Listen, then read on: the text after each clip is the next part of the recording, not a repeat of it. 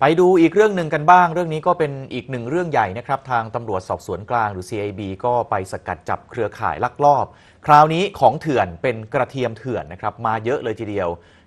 17,560 กิโลกรัม มูลค่าเนี่ยนะครับรวมกว่า1ล้าน7แสนบาทเลยทีเดียวนะครับ โดยที่เพจ Facebook ของตำรวจสอบสวนกลางได้โชว์ผลงานร่วมกับกองบังคับการตำรวจทางหลวง ร่วมกันจับกลุ่มเครือข่ายนะครับลักลอบในการขนกระเทียมเถื่อน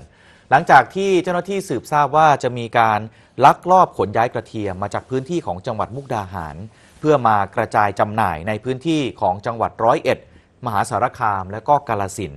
ซึ่งกระเทียมเนี่ยมันเป็นสินค้าควบคุมนะครับตามประกาศของคณะกรรมการกลางว่าด้วยราคาสินค้าและบริการ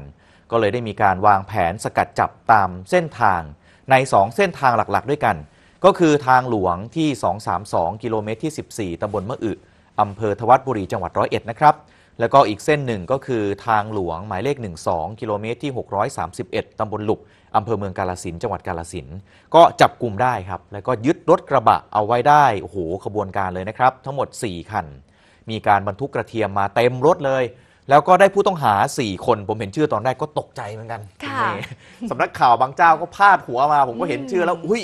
นะครับมีค่ะชื่อนายทักษิณนายสุเทพ ค่ะนายคำล่าและก็นายทรงพลนะครับ อ๋อก็ไม่สามารถที่จะแสดงใบอนุญาตขนย้ายกระเทียมได้ แน่นอนค่ะ ว่าเป็นการขนมาแบบผิดกฎหมายนะครับเจ้าหน้าที่ก็เลยแจ้งข้อกล่าวหาลักลอบขนย้ายกระเทียม โดยไม่มีหนังสืออนุญาตขนย้ายตามมาตรา 25 วงเล็บ 7 และก็โทษตามมาตรา 37 ตามพระราชบัญญัติว่าด้วยราคาสินค้าและบริการพุทธศักราช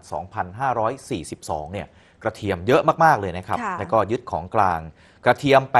887 ถุง น้ำหนักรวม 17,000 กว่ากิโลกรัมไว้เพื่อดำเนินคดี ตามกฎหมายต่อไป ถ้ามันเล็ดรอดเข้ามาเนี่ยอืมโอ้โหสร้างความเสียหายให้กับค่ะ พี่น้องเกษตรกรที่ปลูกกระเทียมเป็นอย่างมากเลยทีเดียวนะครับ เรื่องใหญ่เนี่ยคือแล้วเขาก็บอกว่าเขาได้รับค่าจ้างด้วยนะ ใช่เป็นคนไทยในยแหละขนมา อ่าแต่ว่าต้องไปตรวจสอบต้นทางว่ามาจากประเทศเพื่อนบ้านหรือเปล่า หรือว่ามาจากประเทศไหนเนี่ยปรากฏว่าหากว่าข้ามประเทศมา